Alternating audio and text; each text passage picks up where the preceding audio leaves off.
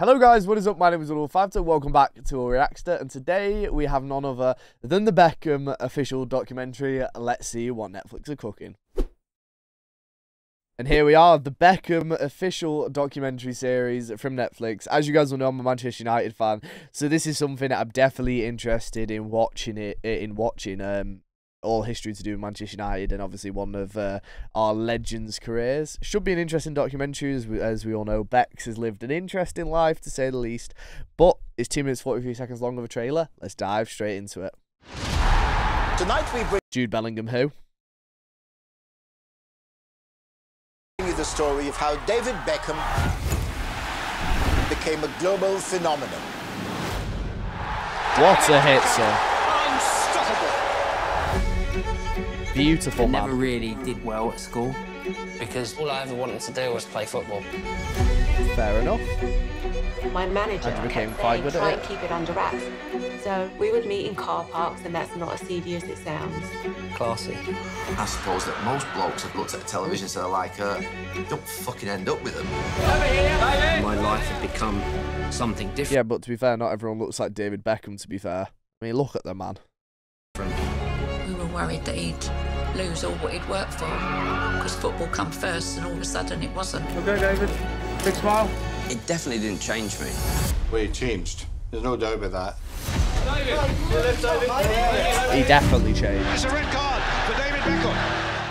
I don't think I've ever talked about it just because I can't. I wasn't eating. I wasn't sleeping. It took a toll on me that I never even knew myself. and you have footballers nowadays complaining because the manager calls them out for being late to training. This lad got abuse. This lad got abused.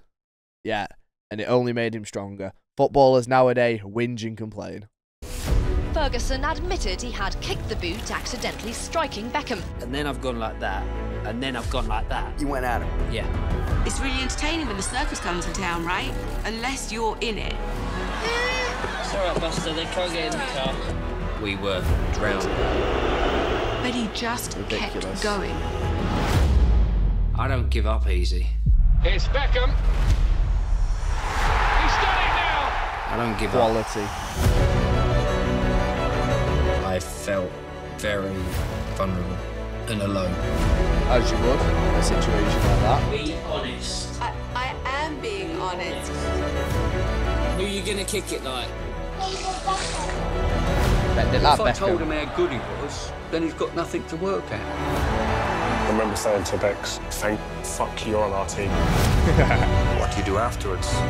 Sink or swim? There was It looks like they're getting everyone in. Determination.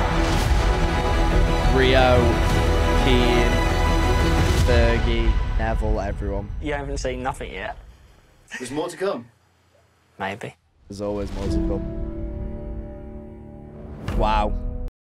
Coming to Netflix October 4th. One I'm very, very much looking forward to. Uh, obviously, it's a well known story in the world of football about David Beckham. Everybody knows it. But it'll be interesting to see, obviously, different people's perspectives on it from the inside. Obviously, I love all the documentaries around Manchester United, the Class of 92, Sir Alex Ferguson, Cantona, everything. So one I'm definitely going to watch. But let me know your opinions down in the comments below. Hopefully you guys are looking forward to it.